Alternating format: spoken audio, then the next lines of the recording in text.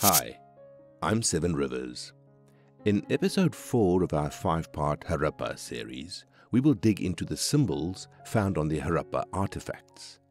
Great many of the inscribed objects are stamp seals, usually made of steatite or soapstone, but they also include tablets, pottery, and jewelry.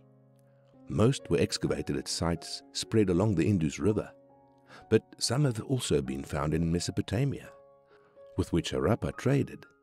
Harappa's past now lies buried in its mysterious symbols in the same way that ancient Egypt's secrets were once locked up in its hieroglyphs.